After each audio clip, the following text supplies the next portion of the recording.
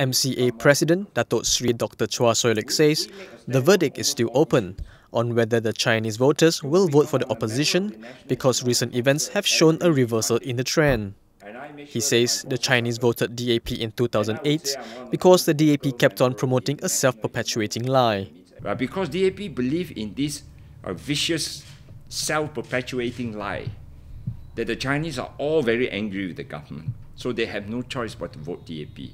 So they believe in this, so they spin according to this line, and people always follow along it. But as far as I'm concerned, most of the Chinese are business, small traders, hawkers. They will still look for a government that will solve the bread and butter issue. And on this, I would say the BN stand tall compared to Pakatan Rakyat, way above Pakatan Rakyat. He said in an interview with The Star, Dr. Chua says he notices a positive change in the attitude of the Chinese towards the MCA and Prime Minister Datuk Sri Najib Tun Razak. Citing the example of the MCA 9 mega dinners, Dr. Chua says the party had initially targeted just 5,000 people per dinner, but the response was overwhelming.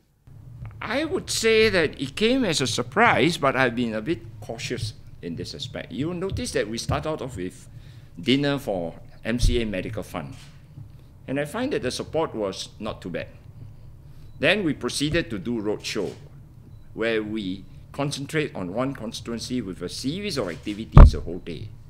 And this gave me the confidence that people are actually quite receptive, the Chinese community. So I thought it's time to have a mega dinner. This time we insist that they must pay $30.